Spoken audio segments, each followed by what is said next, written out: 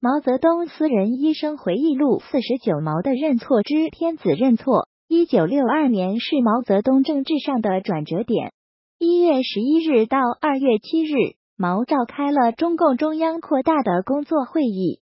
参加会议的有中共中央、各中央局、各省市自治区党委及地委、县委、重要厂矿企业和部队的负责人，共七千多人，所以又叫七千人大会。会上，刘少奇代表中共中央做了书面报告和讲话。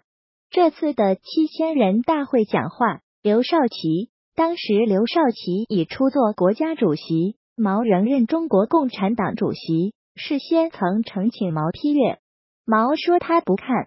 毛说开这个会要民主，让各级干部按自己省区的经验发表见解，鼓励大家畅所欲言。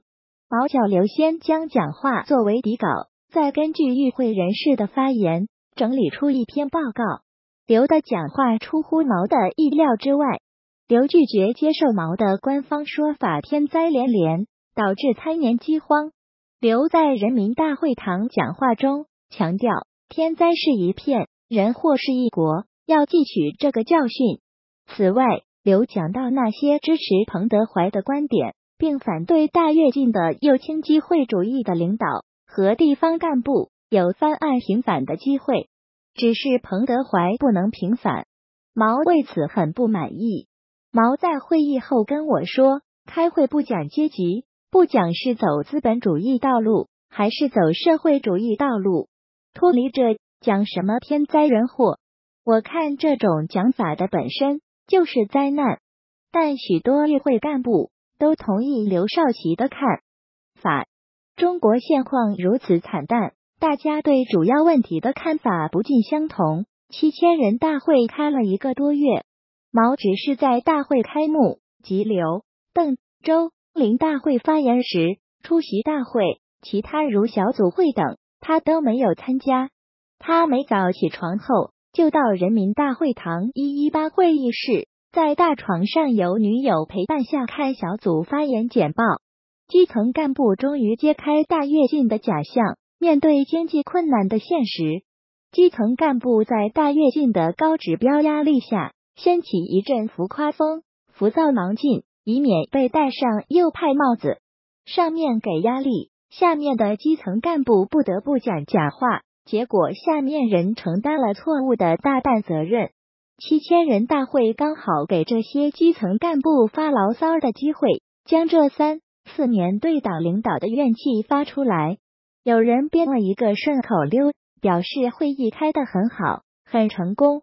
这句顺口溜有四句话如下：白天出气，晚上看戏，两干一稀，两顿干饭，一顿稀饭。马列主义，并没有人将矛头直接对着毛。大家主要集中攻击大跃进的政策，但谁都知道，鼓足干劲，力争上游，多快好省的建设社会主义，这种路线是毛提出的口号。批评政策无疑是批评毛。毛对发言简报大为不满，他有天跟我说，该改成白天出气，晚上看戏，两干一稀，完全放屁。这就是他们所谓的马列主义。七千人的大会，大家批评的很多，已经到了由他一手造成的大灾难，不得不承担责任的时候了。虽然没有人胆敢叫毛自我批评，但毛转而把此作为一种政治策略。毛极厌恶承认错误，他认为自己永远正确。在一九六零年，毛与蒙哥马利的会见中，我第一次听到毛坦率的承认。自己犯了许多错误。毛说：“我们对战争有了不少的经验，可是对于工业和农业的建设没有经验，办了许多错事，犯了许多错误。但在面对党高级干部和中国人民时，毛心理上难以俯首承认，中国的灾难是他一手造成的。”一九四九年解放以来，毛终于做了第一次自我批评，凡是中央犯的错误。直接的归我负责，间接的我也有份，因为我是中央主席。我不是要别人推卸责任，其他一些同志也有责任，但第一个应当负责的是我。毛在一九六二年一月三日做了以上的讲话，话后随即批评了包产到户制度。我认为毛从未相信他的总路线有错误。抚今追昔，我才清晰见到他当时极恐惧丧失对共产党及中国的控制，即使退居二线，毛仍自视为中国的中心。毛让刘少奇做国家主席。是为了考验刘的忠诚度。在一九六二年七千人大会上，毛判定刘有二心，毛一肩扛起所有的责任，不是真在承认错误，只是变相宣称他的天子地位而已。林彪是屈指可数的数字支持毛的人之一。林在二月七日的讲话，可真是抓住了毛此时的心理状态。林说：“毛主席的思想总是正确的，事情出了毛病，造成了困难，总是因为没有照着毛主席的指示去做，毛主席意见受不到尊重，或者受到很大干扰。”林讲话后，毛从主席台走回一八会议室，一路走一路说林彪的话，讲得多么好啊！要是党内的领导人都有他的这个觉悟，事情就好得多了。我听了毛对林的评论，觉得林彪可真是搔着了毛的痒处。与此同时，毛对刘少奇、邓小平和周恩来的发言表示很不满意。毛召集了陈伯达、康生等人谈过一次话。这篇讲话太长，只摘录其中一段，他对局势的看法和他采取的对策。这篇讲话没有发表过，但很重要。毛说：“现在社会上很复杂，有人提出包产到户，这就是搞资本主义。我们搞了这么多年，才贪分天下有其二，有三分之一掌握在敌人或敌人同情者手里。敌人可以收买人，更不要提那些娶地主女儿的人了。刘少奇和毛也越来越分道扬镳。刘要给一九五九年因彭德怀案而受牵连的人翻案复职。”这行动在党内极受欢迎。在七千人大会上，当时我不知情，许多干部暗暗认为肃清彭德怀一案有欠公允。有些人将彭比作现代海瑞，刘也许私下赞同这些看法。七千人大会后，四月，中共中央书记根据中共常务副主席刘少奇的意见，由中央组织部发一份通知。对彭德怀案和大跃进时受错误处分的党员和干部甄别方案，这份全力加速进行党员干部甄别工作的通知，可替至少百分之七十在拔白旗、反右倾、整风整社民主革命补课运动中被错误批判和处分的干部平反。但连刘也无法越权为彭德怀平反。当时毛正在返回北京的途中。在火车上，毛同我谈到这个通知时说：“这个通知是他们同意发布以后才给我看。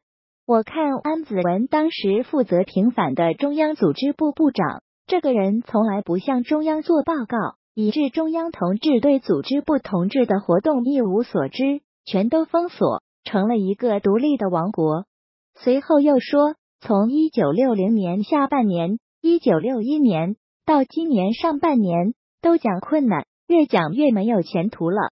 这不是在压我。据田家英告诉我，安子文听到毛的批评后说：“中央谁是中央？北京有好几个领导人，刘少奇同志、邓小平同志和彭真同志在主管中央日常工作。我向他们报告，不就是向中央报告吗？”另一个跟毛持不同理念的党领导人是陈云。陈与毛之间的关系长期紧张，毛认为陈是靠右边站的人，两人很少来往。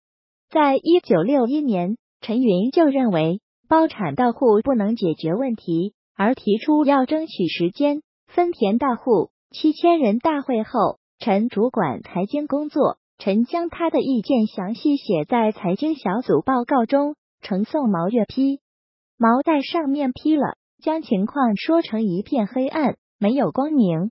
此人是店员出身，资产阶级本性不改，一贯的老右倾。陈云是党的副主席之一。